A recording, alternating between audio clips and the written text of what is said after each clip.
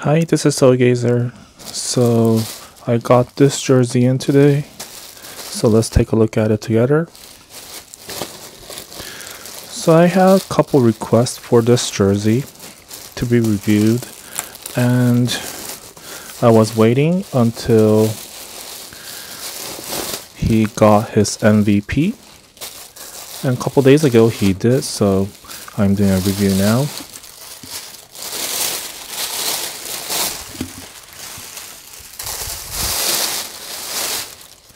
So this jersey, it has the same type of paper as the Air uh, Michael Jordan jersey for Chicago Bulls. It has a huge paper, oversized.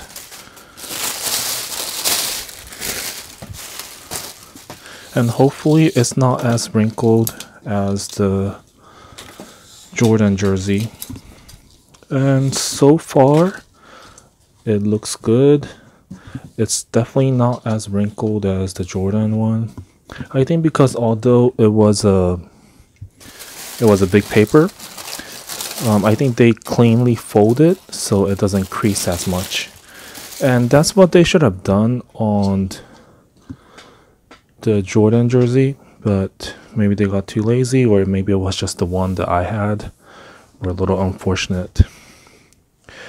So this is Houston Rockets James Harden. MSRP is 110. And this jersey is made in Honduras. And it's red base with gray trimming and white font. The rib around the neckline is gray, it's just one color and center seam looks about right. It's a little wrinkled so it's hard to tell if it's off balance or not but looking at it from here it looks pretty good. There's not much warping around the rib. Um, there's a little bit right here but it's not too bad.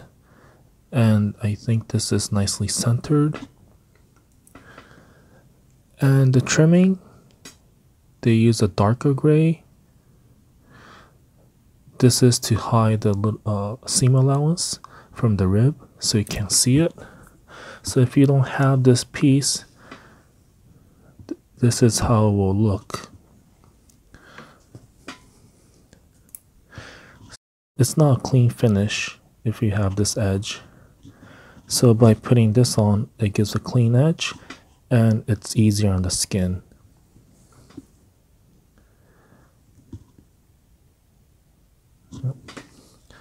And the armhole is the same type of rib, light gray, almost like a wolf gray, and just one color. And it's a unfinished edge. There's no trim here, but that's standard for swingman jersey. They don't have any clean finish, unlike the Authentics. And the swoosh. As usual, it's a thin print.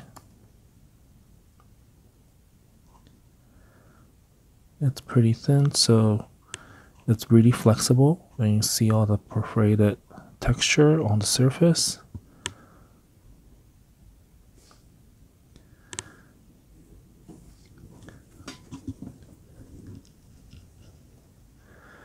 And with the logo,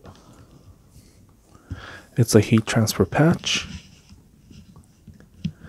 Some of these letters are connected. So R is different uh, by itself, O is separated, C is separated, yes.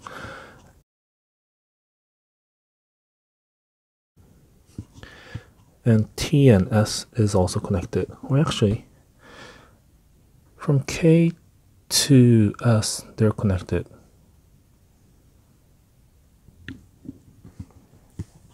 And if you look at the edge, so you can tell that it's a white edge. That means it's a white fabric and they did a gray and red screen print on top of it before they cut them.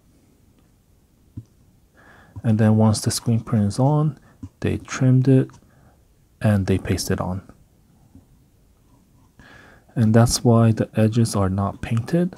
And this is extremely noticeable because it's red on red. And when there's something between that's different color, it's extremely noticeable. And if you have this stitched, you probably can't see it, but because this is a swingman, there's nothing that's stitched on. They're all just heat transfer patch.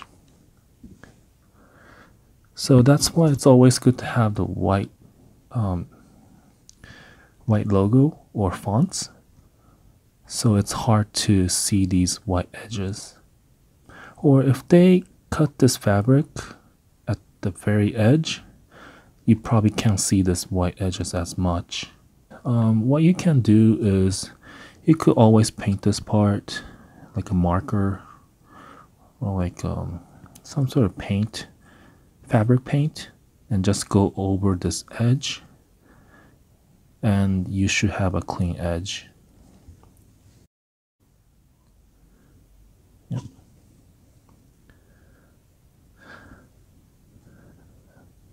And the number, it's white it's also a heat transfer patch. Let me see if it's the same fabric. So it's pretty smooth and it's not that thick. So because it's just letters, there's a lot of open space and these open spaces are not patches. It's very flexible so if you do wear them and if you don't store it correctly, these patches will be ruined faster. Anyways, let's go back to this. So it feels about the same. They're both pretty flexible. And the difference with this is that it's a white fabric. So I think this is a good example. So since this is a white fabric and they cut it and basted it on, you can't see any of the edges that is noticeable here.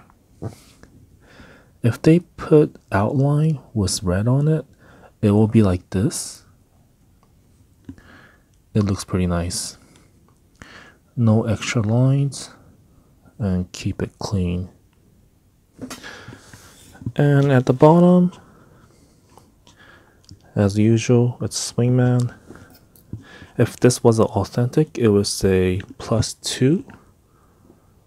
Let's look at the back.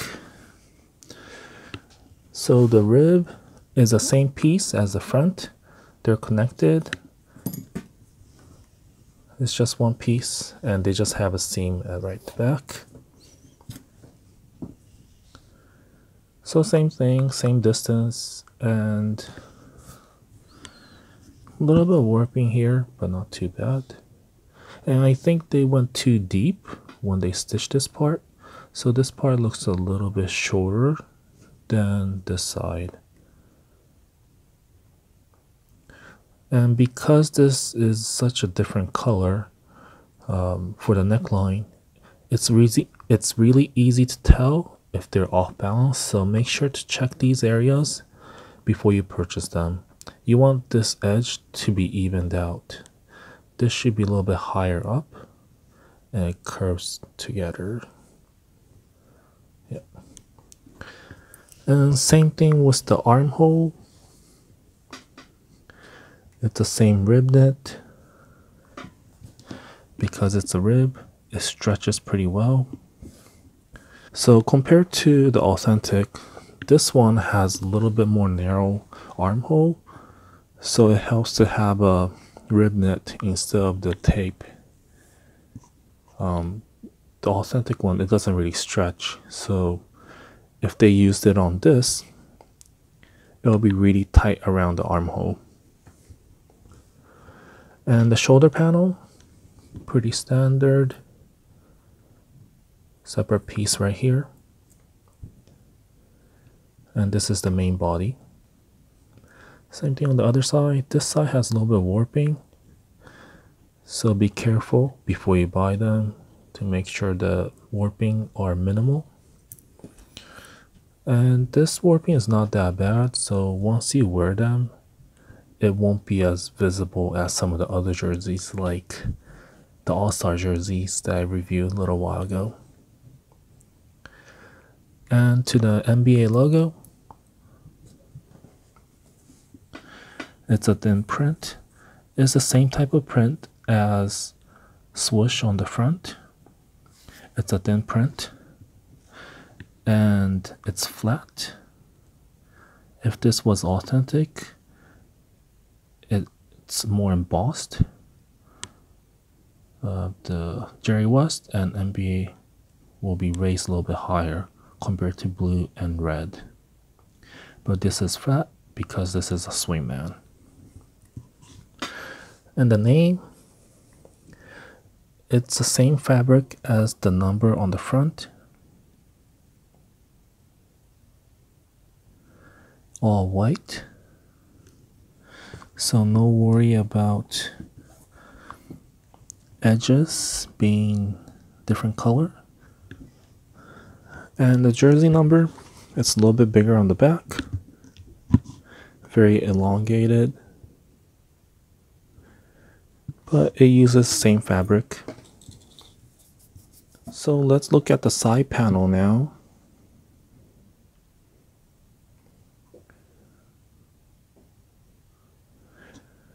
So it's a pretty unique side panel compared to some of the other jerseys. Um, this is probably one of a kind.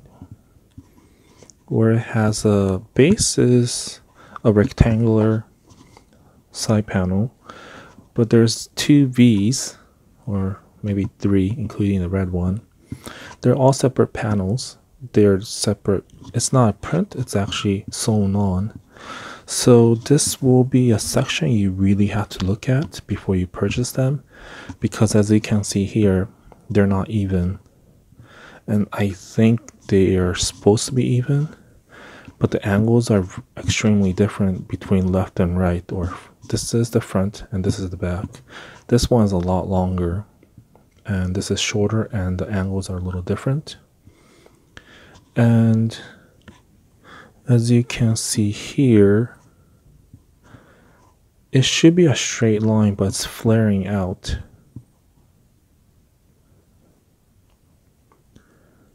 And this side is not flaring as much. So you want to make sure these lines are clean. As you can see here, it's going in and going out. It should be even from left and right. And this part the distance is completely different and the angles are super different too. They should be matching each other, I think. Let me show you the other side real quick. So this side, this is the right side. This one doesn't flare out as much on both sides. They look a little bit straighter. So I think this is a better stitch than the left side. So as you can see, it's pretty complicated. So they have a center seam right here.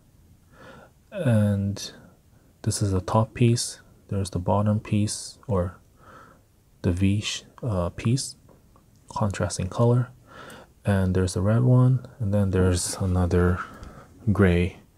And they have a red piece.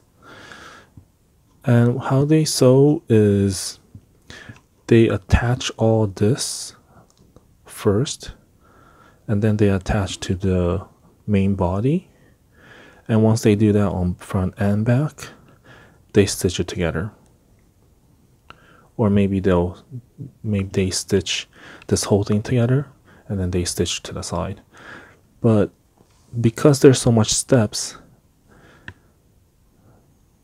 it's a lot more easier to mess it up so this is the inside look of the side panel. So you can see all the pieces that are connected together. And more stitches has more stitch it has, more chances they mess it up.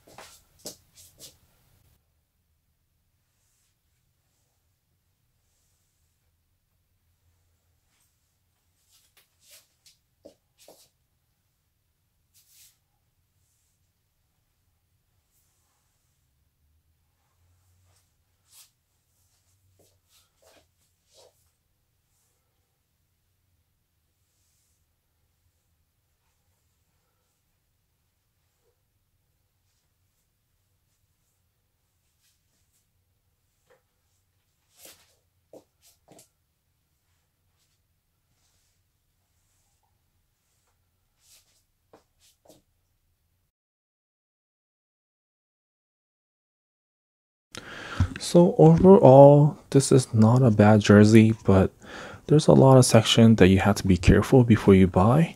One of them and the main part will be the side panel. You want to make sure the left and right are even with the shape, as well as the V's are even. You want to make sure that one. And that's the biggest part. And also the warping. Um, I see a little bit of warping in Honduras jersey, so be careful. But I think when I had it on, these warping weren't as noticeable, so it should be fine. But um, you also want to make sure to check the shape of the neckline. Now that I'm looking at it, it feels like this one is curving, but this one, this part is straight. So you want this part to be even. So if it's curved, you want both sides to be curved. If it's going to be straight, you want both sides to be straight. You don't want two different shape. And if possible, check the one or get the one with the least noticeable edge. But I think it's pretty hard, so if it bothers you, I would suggest using a paint and cover this edge with red paint. I don't think it's a I don't think it's a complicated procedure, so um, it should be fine. Only thing you have to be careful is to make sure to get a matching color and don't spill the paint on the white or gray edges. And that's about it. And by the way, I got this at Finish Line. I think I spent less than $100 on this, so now is a good time to stock up on jerseys because there's a lot of them going on sale and it will continue to go on sale until the next season starts. So let me know how you feel about this jersey, if you like it or not. Please leave me a comment below. Anyway, thanks for watching again. Please don't forget to subscribe to the channel as well as liking the video and see you next time.